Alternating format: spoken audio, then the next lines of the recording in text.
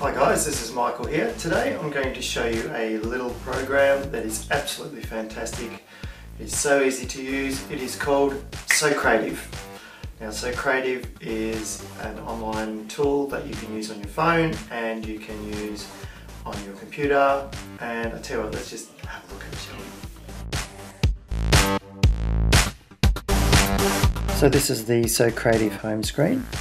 Um, it's going to teach a login. You can log in a number of ways. Um, I use my Google account to log in. The beautiful thing about this app is it runs exactly the same on your phone as it does on here. It's, it's definitely set up for smartphone use as well. Um, so basically, we've got quizzes, quick questions, space race, and an exit ticket um, you can also manage your quizzes. You can download quizzes off the internet. There's heaps of quizzes that you can access. Um, you can create a quiz, import a quiz, um, you can get reports on your quizzes, and you can look at your actual quizzes. So here's one I did recently. I edit that. Um, spreadsheets quiz. Now I've got multiple choice questions It's quite a few actually. Go to the bottom. And then in a different color you've got short answer questions. You can add pictures to your questions as well. They obviously come up bigger than that when the students are doing them. And there's true or false as well. So let's just say I want to add in a, let's do a true or false question, so let's click on that. Um, um, say spreadsheet. So spreadsheets are Correct answer is true. Okay. And I can add an explanation so that when the students do the question, they get it wrong. You can have the option of an explanation to come up to explain the answer. You can add the image here. You can reposition it by clicking on the arrows and that's that clicking off it will put it into your quiz should do um, multiple choice. Too easy. You have multiple answers you don't you can tick the correct one. If you don't want to use all of them you can delete them. You can have less. Uh, very very very very easy. And save and exit. Oops, so that's because I left that blank. So I'll delete that one. And I'll delete that one because I don't want it. And that is as easy as that. To start a quiz I can just do that. Select the quiz um, student paced is the one you want to do if you're just doing a standard test online but you can actually disable student feedback so they don't get the answer straight away um, uh, when I ran this particular quiz the spreadsheet quiz the other day I had the questions randomized and the answers randomized so that students sitting near each other couldn't just look at the person next to them and copy. Um, and you want to usually put the students' names in there, you leave that. So if I start the activity, this shows all the students that are currently enrolled in the quiz, which is obviously none. All I need to do to get the students onto it is to put the room number on the board, right, socrative.com get them to click on student and type in the room number and as long as I've put the quiz in progress they'll be able to start that quiz straight away.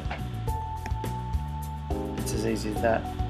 Um, at the end of the quiz I can get a report as a download, an email from Google, put it into my Google Drive, can view some charts, can view it later. Uh, I can select if I want individual student PDFs, specific, uh, sorry, question specific, specific PDFs, and a whole class Excel document. All three are very useful, so I like to do all three, send them to my Google Drive, and then so on. Cancel that. So that's the tests, very, very, very user-friendly. A quick question is you might put a, it just gives you three options, go multiple choice, for example. Get students to log into the room again very quickly, very easy. You might just ask them a verbal question in the classroom.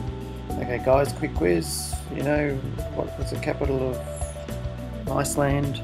And you can give them some verbal answers and get them to choose. Or you can do a, um, a, a quick evaluation of your lesson. You can say, okay guys, how do you rate today's lesson? Give it a grade, like an A is like the best result, E is the worst result, um, that sort of thing. Or how are you going, how are you feeling about your progress with the assignment? Give me a, an answer. And the beautiful thing is the results do come in live, so you can quickly see where people are at without them having to tell you verbally, um, which is really handy for those kids that are a little bit shy and don't want to speak up. Um, the space race is good fun. You can have, um, it basically works off your quizzes. So for example, that um, spreadsheet quiz, I could do that as a revision thing if I wasn't going to use it as an actual quiz. I can set how many teams I want in the class. So just say there's 20 students in the class and I want to do, want them to work in pairs. I'm going to have 10 teams. Uh, get them to pick their own colour. And basically um, students then decide what colour they want and they join up with a team. Um, when you do that, um, start the activity what we've got is all these teams with, with little space rockets. And the aim is to get to the end first. So every time you answer a question correctly it moves the little rocket ship along the line. And you can put this up on your big screen so students can see where how they're traveling. And it's good fun. It's a good way of doing a little uh, revision test. Highly recommend this website um, it's a fantastic way to um, get responses from students. Uh, the other thing I mentioned at the start was you can use your phone, do the whole thing on your phone, so students can be doing a quiz and you can watch their answers coming up on your phone in real time. Um, that's one of the beautiful things about it. The responses come back to you live.